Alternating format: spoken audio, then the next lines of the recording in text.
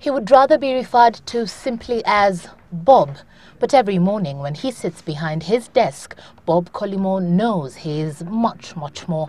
Having signed up for the responsibility of leading one of the largest companies, not only in Kenya, but in the East and Central African region, hailed to have single-handedly transformed communication and money transfer services in Kenya and around the world.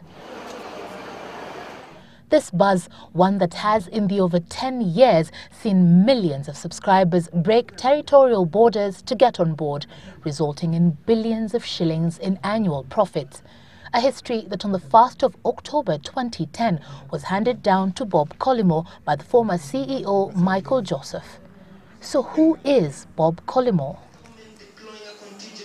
It's minutes to 6 a.m. when we first meet Bob Collymore at his personalized home gym in a routine that he has followed for 15 years now and one he attributes to a fitness that defies his age of 53. But if you're fit, you know, if the blood circulation is running, then you think quicker and you do tend to have a much more balanced approach. He has no personal instructor over his routine spanning 15 years, having been able to know what exercises work for him with minimal consultation. Can that also be said about his managerial ability and philosophy for a man who has served in the telecommunications sector for over 10 years? I do consult very, very widely.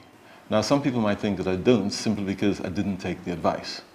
But when you, when you consult widely, you do end up at a point where you have to make the decision. It is almost 7.30 a.m. now. Today, one of those mornings he has no early meetings to rush to,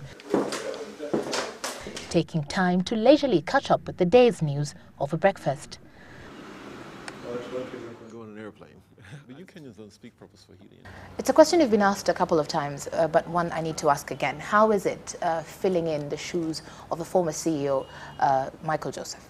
You know, Michael did a fantastic job building the company for 10 years.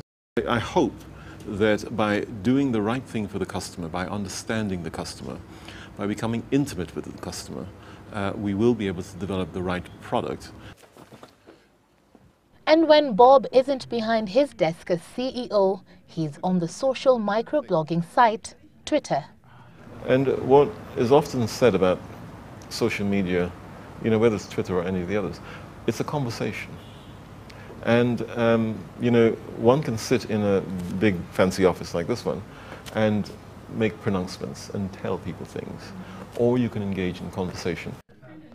The Safaricom CEO also has a passion he downplays as a hobby, flying. An experience we were able to share, albeit from a distance, and one he says calms him after a week that sometimes brings out the other side to him, all in the endless pursuit for success. At the end of each working day, however, this 53-year-old from Tobago returns home as a husband and father of two, returning to the basics and enjoying the simple pleasures of life as wished for by a young boy centuries before. Michael did a fantastic job and I think Bob comes in with something new, slightly different, and I think that will bring the company up onto the next level. No doubt at all that Bob's more than capable for the job dreams of a successful future, the vision he has for Safaricom and its over 16 million subscribers and close to 800,000 shareholders, and those he hopes to achieve during his tenure as CEO of the country's largest company. Evelyn Wambui for Newsmakers.